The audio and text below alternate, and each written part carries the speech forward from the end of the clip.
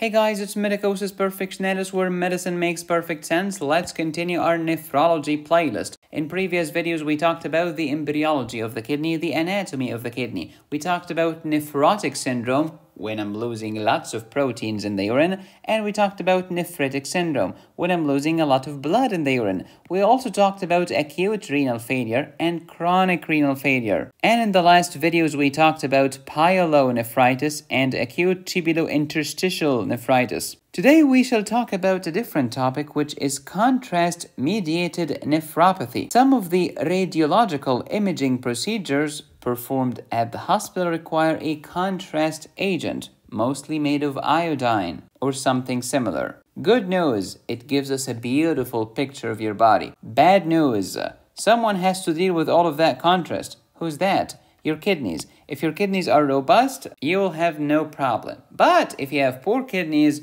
if you're an old person, if you have kidney disease, diabetes, hypertension, if you're dehydrated, etc., etc., boy, you are in trouble. Please watch the videos in this nephrology playlist in order. If you recall from my video on acute renal failure or acute kidney injury, we had three categories of causes. Pre-renal, when the problem is before the kidney, intrarenal, when the problem is in the freaking kidney, or post-renal when the problem is after the kidney. If I take iodine contrast and my kidney is poor, iodine is gonna hit the kidney itself. The radio contrast agent is toxic to the kidney, i.e a cause of renal acute renal failure or intrarenal AKI, intrarenal azotemia. Do you remember the three types of azotemia? Pre-renal, intrarenal, and post-renal. We have talked about all of this in great detail before in this nephrology playlist. And acute tubular necrosis is intrarenal renal failure. And this intrarenal could be caused by what? Hypoxic or toxic? Do you remember the causes of toxic ATN? Oh yeah, we had many toxins. One of which is the radiocontrast agent, which is today's topic. So here's the thing, my doctor injected me with the contrast dye to see my body in a more clear fashion. Example, contrast CT scan or intravenous pyelogram, which requires a contrast. And then 36 to 70 hours later,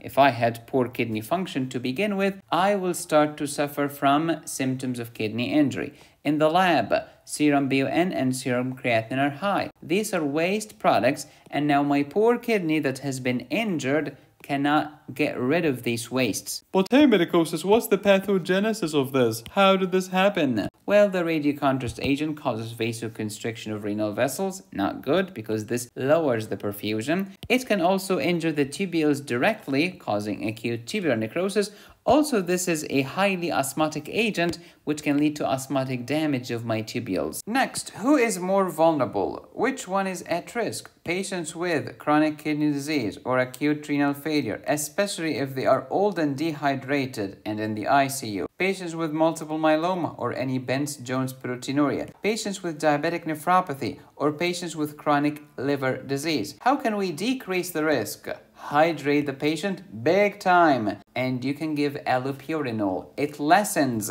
the toxic effects of the contrast agent on my kidneys. Now to my favorite part in the entire stinking lecture. Pearls for the pros. Urate nephropathy or uric acid nephropathy. What's going on? Maybe I have gout. Maybe I have lead poisoning, which increases the risk of hyperuricemia. Or maybe I have lots of lysis, hemolysis, tumor lysis, rhabdomyolysis. Any lysis of any cell in your body will pew, rupture the cell and the cell will vomit whatever was inside, such as potassium, phosphate, and purines, giving me uric acid, because the cell has a nucleus, right? Nucleus has DNA, and DNA has purines and pyrimidines. All of that uric acid in the blood, i.e. hyperuricemia, can go to the kidney. It can damage the kidney, and it can also lead to precipitation of uric acid or urate crystals. Uric acid stones, which are rhomboid in shape under the microscope. If you damage my kidney tubules, you can cause acute kidney injury. Do you want to learn about the different types of shock, like hypovolemic shock, cardiogenic shock, obstructive shock, anaphylactic shock, septic shock, neurogenic shock, etc., then download my surgery high yields course at medicosisperfectionalis.com. I also have a course that will teach you about the normal kidney physiology on my website. Website. If you do not want to download my courses but would rather watch them right here on YouTube, click the join button, get you a membership at the highest tier